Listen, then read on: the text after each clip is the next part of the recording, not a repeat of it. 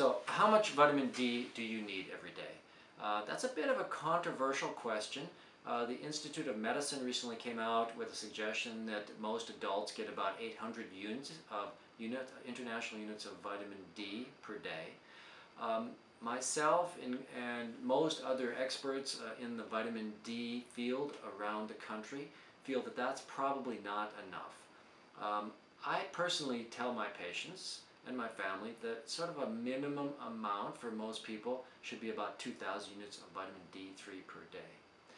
If you measure levels, lots of times, in fact, you'll need quite a bit more than 2,000 units per day. And I do suggest folks, if they're not, if they, if they want to take doses bigger than 2,000 units per day, you probably ought to talk to your doctor about getting a vitamin D level, just to, so you know what range you should be shooting for.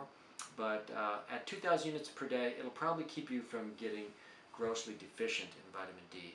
You can't say the same thing about 800 units a day. A lot of people will take 800 units of vitamin D per day and still have deficient levels. So we feel that 2,000 units per day is a good base level for uh, a supplement for most Americans.